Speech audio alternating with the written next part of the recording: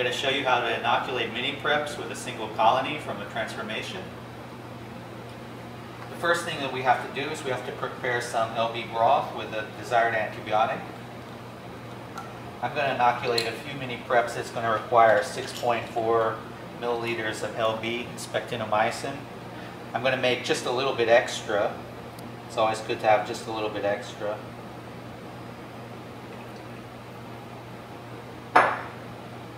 My tube has a clear line at 7.5 ml, so I'm going to go to the 7.5 ml line.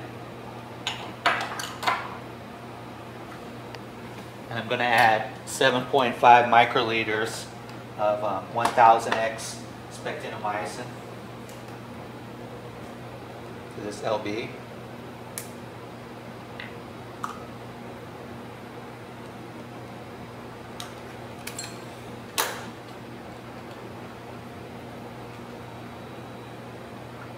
Give this a little bit in the vortex.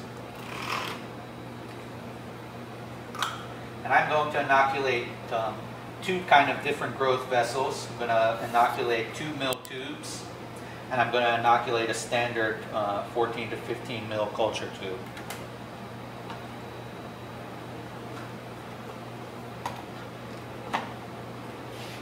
The two mil tubes can, can hold a maximum of 1.7 um, milliliters. I'm going to pipette um, 1.7 milliliters into each of these tubes.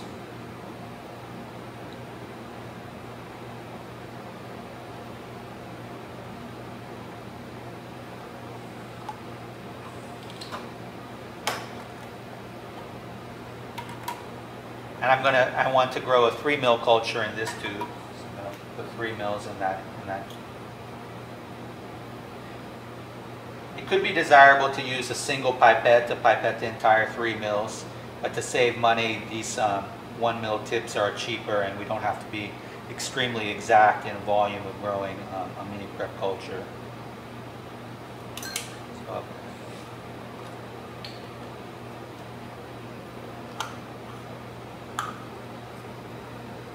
So the procedure is slightly different um, for inoculating both um, both types of vessels.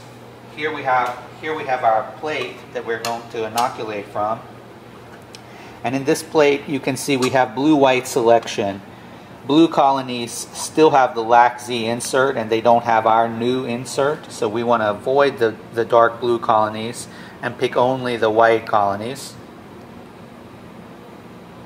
Um, there's only a few dark blue colonies. And the way that we're going to inoculate the,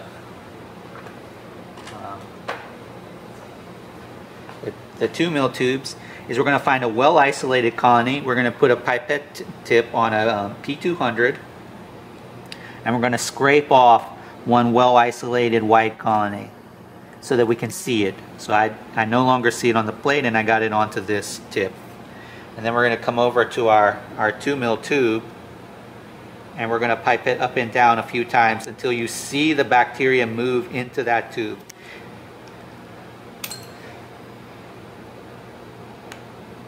So, some people will tell you that you really only need to touch the bacteria to the colony and then touch it to your culture and that's good enough.